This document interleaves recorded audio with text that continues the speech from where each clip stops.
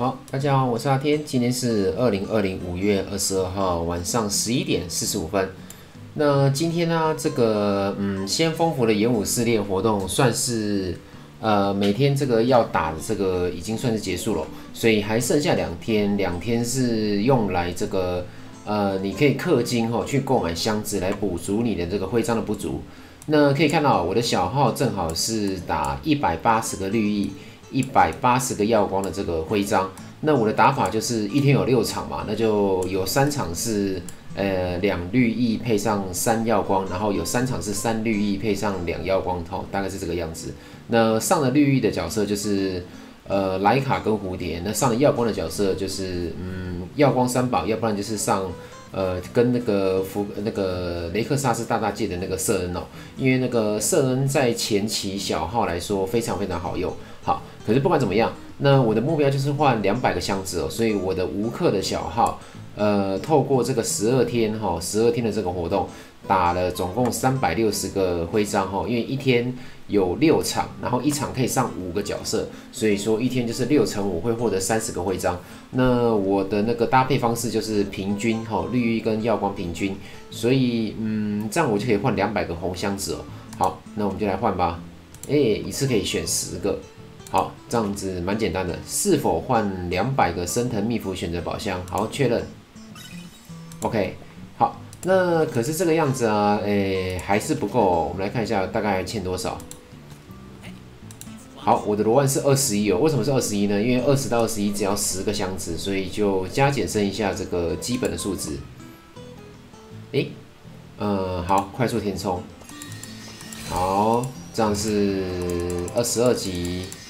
二十三级，二十四级，好，到了二十五级，闪避加了二十，哦，也是不错，因为那个罗万有时候会把它摆摆在前排。好，二十六级，二十七级，哇，好，所以我还差多少呢？嗯，我现在是再来还差九十嘛，因为二二二十九跟三十是四十跟五十，所以我现在只有二十五个箱子，我还差。哇，我还差哎哎，可能没有那么多，四十跟五十，哦，我还差五十五个箱子哈，五十五个箱子，哎五哎五十五还是六十五？看一下，二十八到二十九是四十，对对对对对，OK，我还差诶六十五个箱子哈，不好意思，是六十五个箱子。好，那六十五个箱子应该怎么获得呢？嗯。如果说你要去异界迷宫买的话，我的钻石的话，大概可能半个月可以买十个吧，所以我应该是在等下一个活动就可以到罗万三十了。好，那这个是仙风服的这一个嗯呃演武试炼的部分。那我们来看一下正式服。呃，正式服的话，这个全球锦标赛。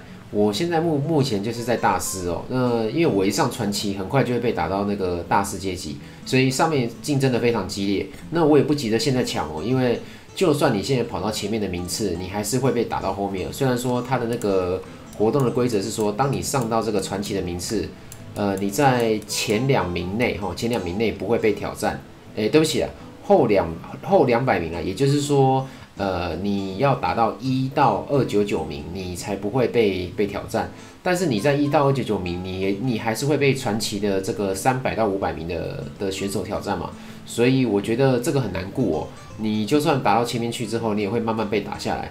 但是你上了大师之后，就不会再掉阶了哈。上了大师就不会再掉阶。所以我们来看一下赛季奖励哈，大师钻石一、钻石二。所以如果允许的话，你赶快冲到大师阶级的话，规则哈，然后你就可以每天算是放置养老，然后等到活动结束再来拼就好。呃，怎么说呢？譬如说，这是我的记录，我昨天被这位大大打到打到呃大师的阶级之后，就没有人再打我了哈。所以说在大师的时候，应该就不会再掉阶了哈。所以像我这样子啊，然后就是加零加零加零啊，呃，胜利胜利，可能是。别别人没没有打下我吧？可是不管怎么样，你也不可能永远守住。所以我觉得大师跟传奇这边打来打去，我就没有放诶太多的得失心哦。反正被打回大师之后就不会再掉阶了，那就每天打完三次，呃，然后把那个什么次数买到一百张就好，因为现在次数很便宜嘛，所以你一天买个两次哦，十转十转，然后慢慢累积的话，要累积到一百张张券不是什么问题哦。那等到最后一天呢，这个五天八小时要结束之前，呃，你设个闹钟，五分钟前的时候上线，然后拼命打拼命打，就是拼命打，不要掉阶就好。那其实呃，钻石一，哎，对不起，大师跟传奇这两个阶级啊，它唯一差别就是八百个点数，八百点数确实是很多，但是影响的也就是也就是一个框而已哈，也就是一个框，所以有没有这个框，我觉得影响不大，因为其实两百跟跟这个框就是差一个这个小皇冠的差别。那当然说这个呃对后面的这些框的影响很大，但是头像框这个我觉得。就算你是免费的玩家，后期的玩家你也不用担心哦，因为随着游戏的慢慢的进行啊，它总是会推出一些免免费的头像框可以使用。好，那我今天我都还没打，所以我们来随便随便挑一位大大打。好，然后他的这个呃战战力可能比较低一点，然后你看今日剩余获得奖励次数是三之三，所以我只要随便打个三场，然后获得奖励，今天就可以休息了。好，打输也没关系，因为打输也会有这个奖励。好，乱打，整个就是盲打。好，二比四输了，获得五百零四 K，好金币，好也是不错。然后再来，再挑这位三十一 M 的四六三四六三级。嗯，他的等级是二七六，比我高，比我高一级哦。好，哎，打赢了，二七九七经验，好也是不错。那我升到传奇了，但是呃。这个升到传奇一点意义都没有，因为因为大概大概我睡个觉起来，很快很快又会被拉下大师哦，反正就是我又大师啦，我又传奇啊，怎么样怎么样怎么样？那还有最后一次哦，最后一次就 随便打随便打，好，随便挑一位大大打哦，狮子都三十了，狮子都专五三十了，那应该是一位诶算是比较厉害的大大。看有没有什么比较简单一点的？哎，这个的装我看起来比较普通哦。好，那就试试看打这一位大大好了。哇，输掉，好，没关系，获得了啊一百六十三粉尘哦。好，那所以说那所以说真的真的低。那我打完这样子三次之后，我今天就不会打了，因为我觉得明天早上起床之后，我很快就会调为大师。但是调为大师其实也没什么关系哦，因为很快就可以升回来。那只要在这个活动结束之前。想办法挤到传奇哈，挤到传奇就好了。所以这是我的目前的这个目标。所以我最后的一百张券就是留，就是留到活动结束前的五分钟，然后一口气就是狂打，一直打，一直打，一直打，一直打哈，大概就是这个样子。好，那我们回到这个先锋符啊，诶，先锋府这边哦，呃，演武试炼我有说我的罗万打算是嗯。打算先让罗万上上上装武三十，所以我其他角色都没有换，肥料也没有换，那什么普通抽啊、金银装我都没有没有抽，都都都没有换了。那是什么原因呢？就是因为说，其实建议远征啊，你大概玩了一般五小克的玩家，你玩了半年，可能都不一定会有一只嗯装武三十的呃角色。呃，像我的主号啊，我就是练错嘛，所以说。呃，当我意识到说罗万要三十的时候，我已经推到二十七、二十八，所以更晚了。所以那个红装我的这个箱子啊，获得非常非常的不容易。那我的小号我已经玩了大概，诶，我觉得四个多月有了，四个多月。那四个多月的话，其实我也还没有一只角色有那个嗯装五三十哦。所以我至少可能，我觉得还要再过一个月，我的罗万才能才能够上三十哦。所以剑野真是需要一个呃慢慢去跟他磨的游戏哦。好，那最近出了几只新角色啊？那顺便再来闲聊一下这个有关于心愿清单啊，然后呃简单的一些专武的配置哦。好，那第一个上上专武三十的还是罗万嘛？这个应该是不用考虑了，因为罗万基本上它就是个呃虽然说是不不是很平民，但是你应该就是新手的话会永远的把它放在心愿清单了，除非它上红之后才考虑下来。那他的专武也是第一个要上升，在上升时哦，就算是哈，就算是大佬的这个这个神魔国家队，他还是会配一只罗万哈，就是罗万魅魔、双子、哀之跟凤凰。好，那第二位上三十的话，我会建议光公或是哀龙，因为这两只就是在女妖，诶女妖之远征后期之后，它可以呃呃取代就是女妖武力之后呃的的那个主攻手，尤其是光公哈，光公是自成一格的这个打手，他跟谁配都很好配。那以上三位上三十之后，你可以把几个主力啊，或是有加级数参数的先上二十五哈。好，那现在就是开始闲聊一下，就是有关于心愿清单。那心愿清单的话，我的优先呃清单的这个一跟二的意思就是说，一就是你一开始哈，你是新手，你进来的时候你就把这个放到心愿清单里面，然后当一已经上神话。或者说你现在这只角色是红加，然后也存够四只的时候，那你就可以把这个角色放下来换换呃换换那个二，所以顺序大概是这个样子。好，那我们来讲耀光的话，基本上应该没有什么变了，就跟我之前的影片一样，光盾、女仆、罗万，那这这这个是耀光三宝。那女仆的话可能会最近会快一点哦，因为那个女仆现在在高阶换得到，然后光弓跟光法哦，光光法在高阶也换得到。所以光弓比较麻烦哈，因为那个光弓在高阶换不到，所以我觉得光弓可能要一直放在里面。那福克斯的话也是高阶换得到，那福克斯的话，我觉得它可以叫做是小双子哈，小双子，因为它可以解除队友的负面状态，然后它又可以关一只敌人哈，把一只敌人关起来，跟蝴蝶一跟跟蝴蝶的功用一样。所以我觉得福克斯啊，诶，有的时候哈，我使用福克斯比双子还好还好用。当然双子是无可替代，只是说有时候推图上的战略考量的话，你上福克斯的话，呃，福克斯一开场把一个人关起来的话，其实那个我方的那个呃前前前就怎怎么说呢，就是受到攻击的这个压力会少一点。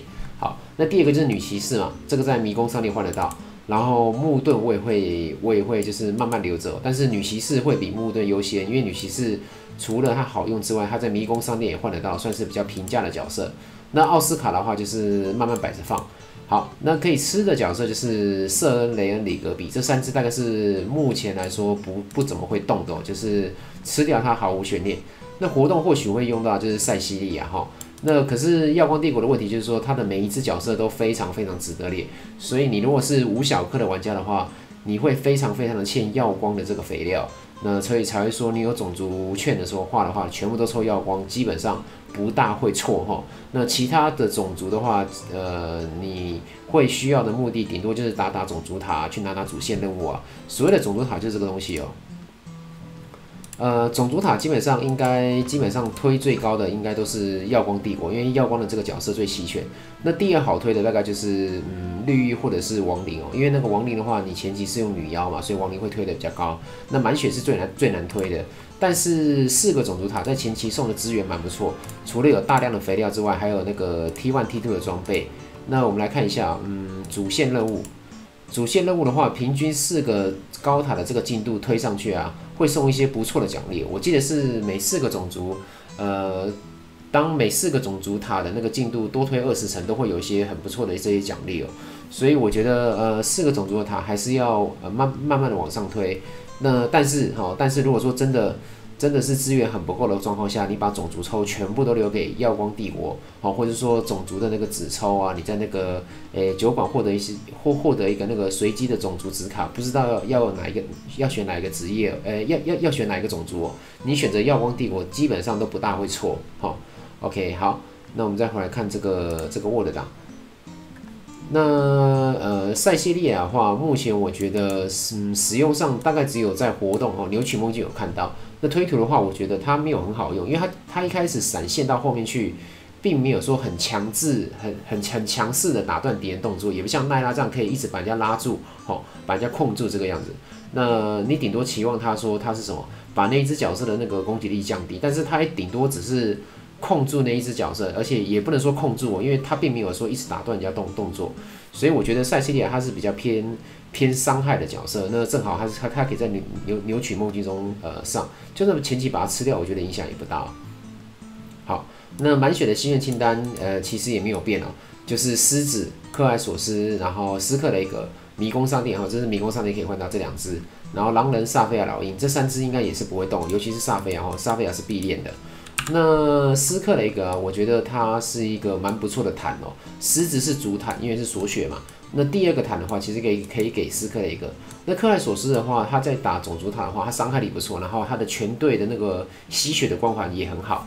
那狼人、萨菲亚跟老鹰这三只就是抽不到，所以比较麻烦。但是萨菲亚是后期我觉得是必练的角色，他跟埃隆啊、跟光公啊，其实也都可以搭配他的那个结界。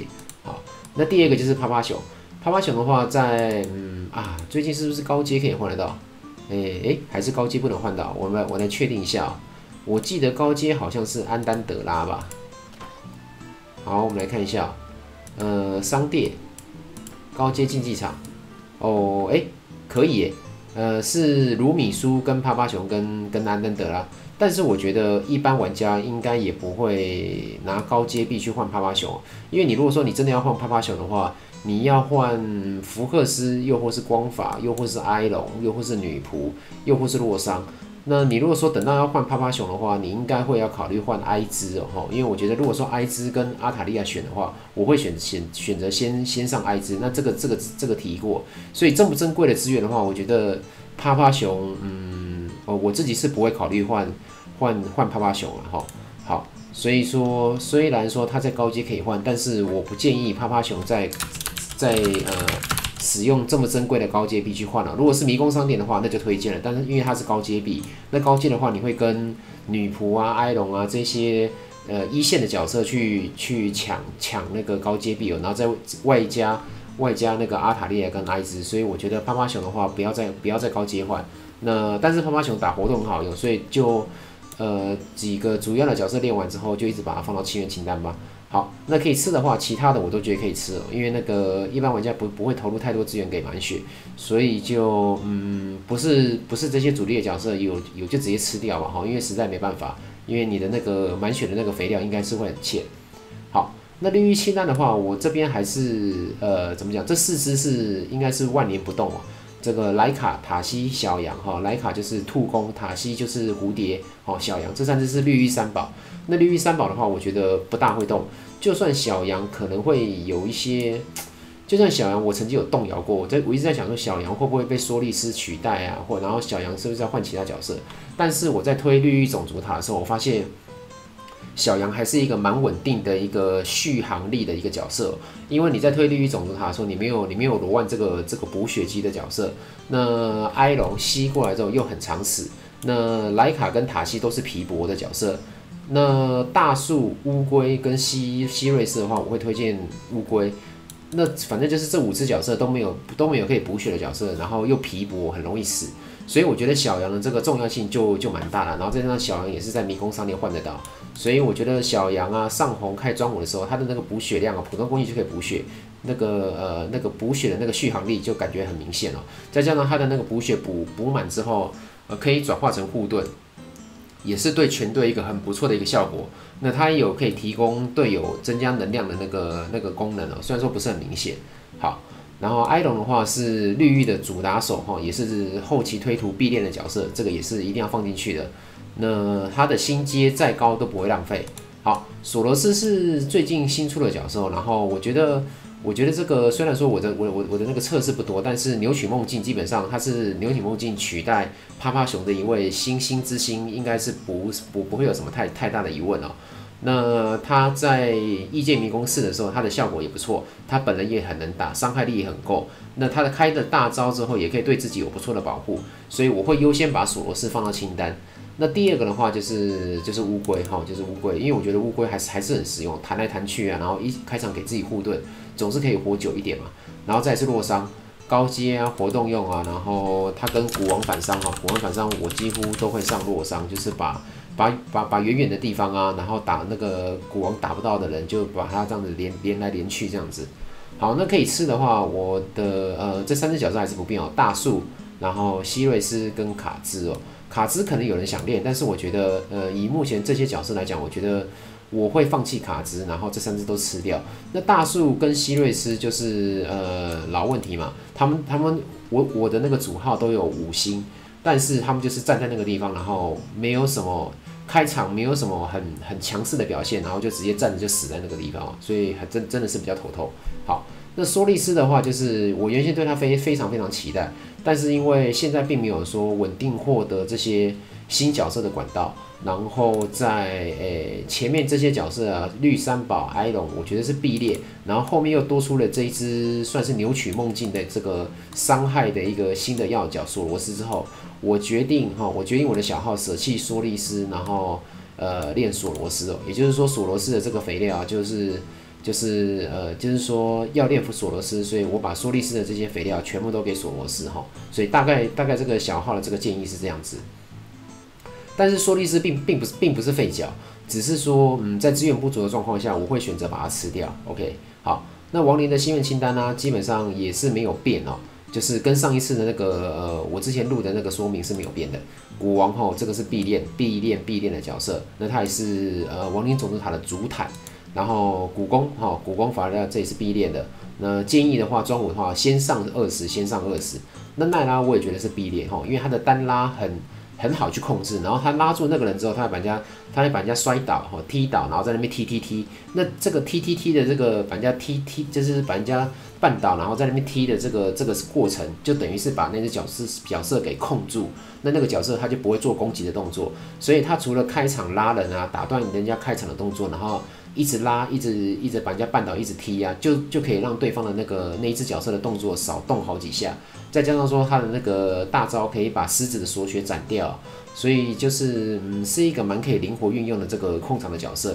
那我前期的话，我很喜欢用一个队伍，就是耀光三宝配上古宫跟奈拉这样子。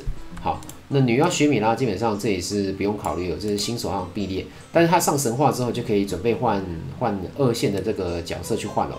好。那二线的角色的话，我会选择干涉跟这个新的这个角色奸笑之海霍里奇托尔跟波特，因为我觉得这一只角色它，诶，它的定位是坦，哦坦。